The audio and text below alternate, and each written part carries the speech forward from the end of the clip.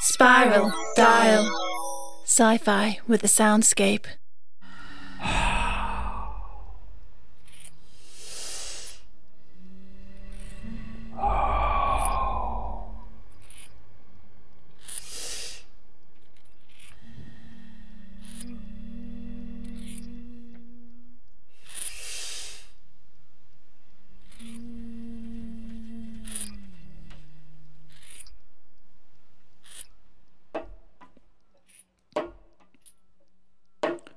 The dark mass shimmered behind the sparkling glass windows before them, almost purple in the morning light. Jessica took a deep breath. It was beautiful, more beautiful than any land she had ever seen. Perhaps Pyrup was right. They should return to the earth. She felt it calling her and edged forward until her fingertips hovered just above the glass surface. Crack! A sharp shock of cold jabbed at her fingertips. She jumped backwards. A ripple of frosting spread outwards from the icy mark her hands had made, sparking a memory of her very first day on board. The taxi and the strange chill in the air. And Ant. Ant had been there. Shivering, she took another step away from the windows, only to trip over a stray leg. A faint moan emanated from it. Carry on, darling. I don't think the captain quite finished the job, and I for one can't be doing with this lugging this great oaf down the stairs. Archie flicked the ash from his joint onto Morven's eyelids, which were mercifully closed. Archie, knock it off. Hasn't he been through enough? Jessica crouched down, pulling Morven's hair back from his forehead. His face bore a fine maze of concentric cuts, none more than a few millimeters deep, but drops of blood welled from them all the same. She shuddered. We need to get these dressed. Morven, wake up! Wake up! Morven made motions with his arms and legs which were not altogether unlike a stranded whale. Archie made whomping noises with his cheeks, finishing the last of his joint and stubbing it out on the window. Cut it out and help me get him up, Jessica said. Archie raised an eyebrow and cocked his head back towards the ornately carved doors, one hand to his ear. Don't be foolish, sister, Pyro hissed. This is our chance. We must go to Earth. Leave these pathetic morons behind. The captain will not sleep forever. As she spoke, Jessica heard the unmistakable sound of footsteps, heavy boots on metal. The crew quarters! She rushed over to the metal staircase she had descended after being fired so long ago. It sounded like there were at least two of them. And Michael? She didn't particularly want to find out. Quick, grab his legs. This time Archie didn't hesitate. They dragged Morven over to the grand staircase, only to hear the unmistakable hubbub of pre concert excitement welling up from the concert hall below them. Trapped, Jessica glanced back at the captain's office. Did she detect the faintest of clicking sounds? It seemed that the whole ship was waking up at exactly the wrong time.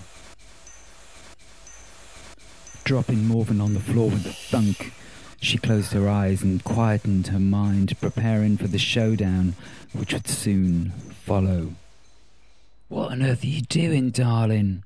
Archie leant back against the wall, fumbling in his pocket, and crumpled some hash into a cigarette paper.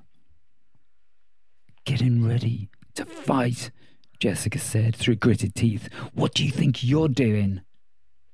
Relaxation is crucial at times like this. A clear head. Violence is a last resort, darling. I'm disappointed in you. I've already compromised the safety of my heavenly soul to save your thankless backside last cycle. What makes you think that I'm down for a repeat?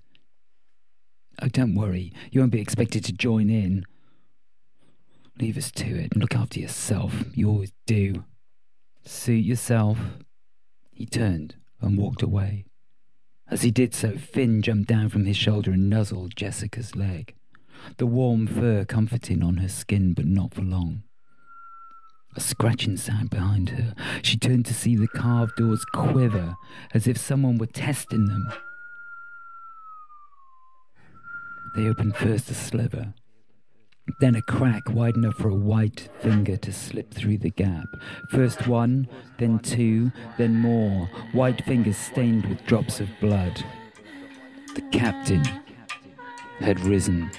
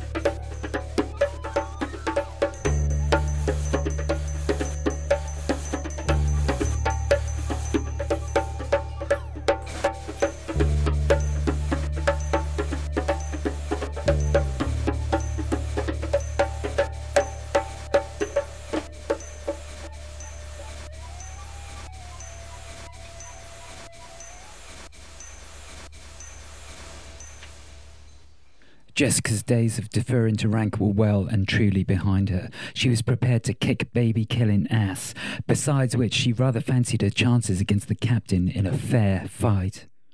The carved wooden doors slid open, a loud sound like the crack of a rifle echoing through the corridor as they reached their stops. The captain knelt on the floor before them, twisted, grin contorting their features, brandishing an extremely large shotgun in their hands. Jessica froze. It looked like the fight wasn't going to be so fair after all. The click of a lighter to her right drew the captain's attention. Darling, you shouldn't have, Archie said. Not a Benelli M4. That's far too good for them. A total waste of bullets. Allow me to fetch the rope. Let's put on a show. The captain's expression softened, and they relaxed the pressure on the trigger for a split second, long enough for Finn to make his move. Leaping towards the crew staircase, he emitted an almighty yowl.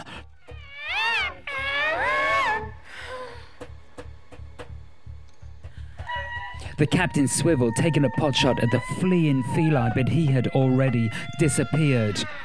That animal has to go, Archibald. I can't stand another cycle like the last one. Of course, darling. Whatever you say, Archie edged closer towards the captain, stretching out his left hand towards him. Next cycle, it'll just be you and me. Together. Like in the before times. The double crossing rat. Jessica wasn't about to let him get away with it again. She braced herself, poised to attack. But how? Morven's limp body still lay at her feet. He would certainly get caught in any crossfire. She was contemplating an acrobatic flip to disarm the captain and restrain Archie in one fell swoop when a disturbing cacophony of noises rose from the metal stairway.